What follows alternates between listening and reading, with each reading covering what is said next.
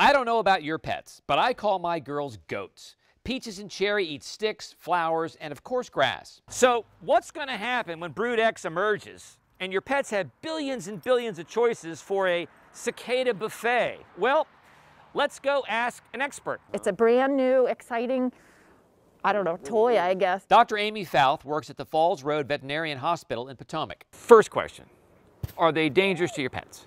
No, uh, uh, there's a caveat there. Okay. They're not toxic. These are not stinging or biting um, insects.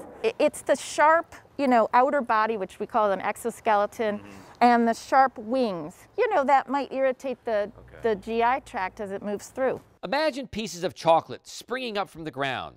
I dare say some humans would gorge themselves. I know I would, and that could make your pets sick to their stomachs. We're going to see a lot of vomiting and a lot of diarrhea during cicada season. Vomiting is a more serious sign mm-hmm. in a dog or a cat, and that should be seen by a veterinarian.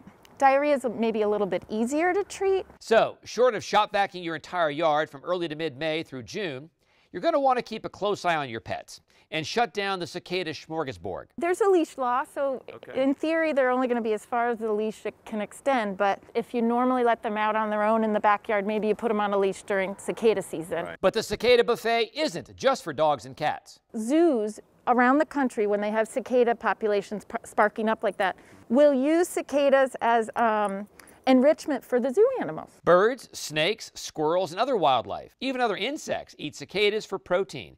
Smithsonian entomologist Floyd Shockley explains the sheer number of cicadas is key to their survival. no matter how many predators there are, even if they ate all day, every day, they couldn't eat them all. And so, um, not every individual survives, but the species itself persists. Cicadas can also be eaten by humans. You can roast them up, uh, you can actually use them almost interchangeably with shrimp. And I will warn you though, because they are relatively closely related to crustacea, if you have shellfish allergies, you can have an allergic reaction to the cicadas. I have a daughter who's about to turn 18 this week, and she was a year and a half during the last emergence.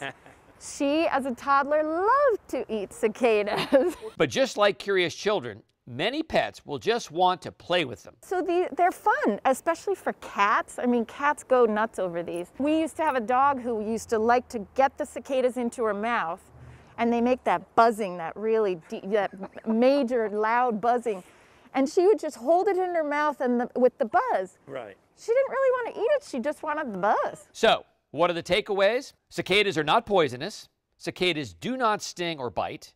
Dogs and cats will likely eat them. Eating too many cicadas may upset your pet's stomach. Why can't we let them have a few cicadas?